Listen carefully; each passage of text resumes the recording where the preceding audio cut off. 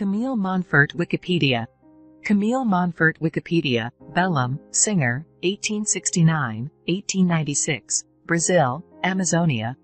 With the selling of rubber from the Amazon to the globe in 1896, Belém became wealthy.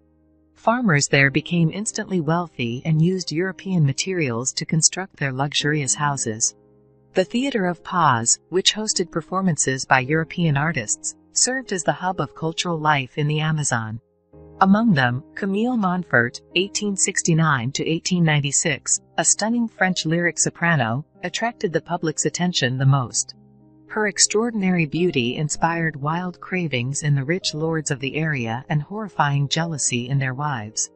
Camille Monfort sparked controversy as well for her unconventional behavior at the time. She was spotted dancing in the streets of Belém while half-naked to the afternoon rain and going for solitary nighttime strolls along the Guajara River while wearing long, flowing black dresses. Within a short period of time, stories about her started to circulate and gave rise to negative remarks about her. She was rumored to have been Francisco Bolonha's lover. He was said to have brought her from Europe and bathed her in his mansion's bathtub with very expensive champagnes imported from Europe. It was also claimed that she had been attacked by vampirism in London due to her pallor and sickly appearance, and that she had brought this great evil to Bethlehem.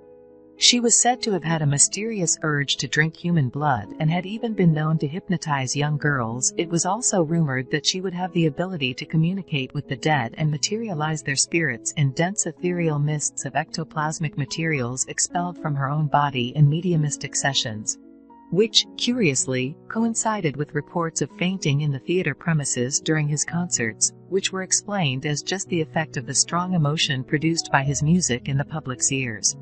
They were without a doubt the first examples of what would later be known as Spiritism in the Amazon, which was practiced in occult sects in Belém palaces like the Palacete Pinho. Camille Monfort perished and was buried in the cemetery of Soledade as a result of the terrible cholera outbreak that decimated Belém at the end of 1896. His grave is still there today, covered with moss, slime, and dried leaves. It is located behind a large mango tree, which casts a deep shadow over it and only occasionally lets through a few rays of sunlight. It is a neoclassical mausoleum with a gate secured by an ancient, rusted padlock through which a female bust in white marble can be seen over the open lid of the abandoned tomb. A small framed photograph of a woman wearing black is also mounted to the wall, and the following is written on his tombstone. Camille Marie Monfort, 1869 to 1896. However, there are still many who maintain that Camille Monfort is still alive in Europe at the age of 154 and that her grave is empty and that her death and burial were nothing more than a cover-up for her vampirism. Don't forget to visit her tomb when you are at the Soledade Cemetery in Belém, and don't be concerned if the rose has turned red on another day. Bosco Chanson is the author of the text that appears above Vampira da Amazonia. Bosco Chanson, who resides in Belém do Pará and collects enigmatic instances and local lore, posts his collection of cases on the blog, Bornal.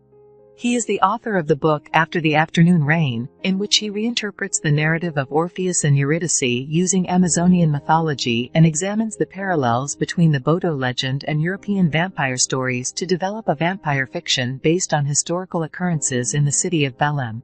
Conclusion Friends in the above video we have given complete information about Camille Monfort Wikipedia, Belém, singer, 1869, 1896, Brazil, Amazonia.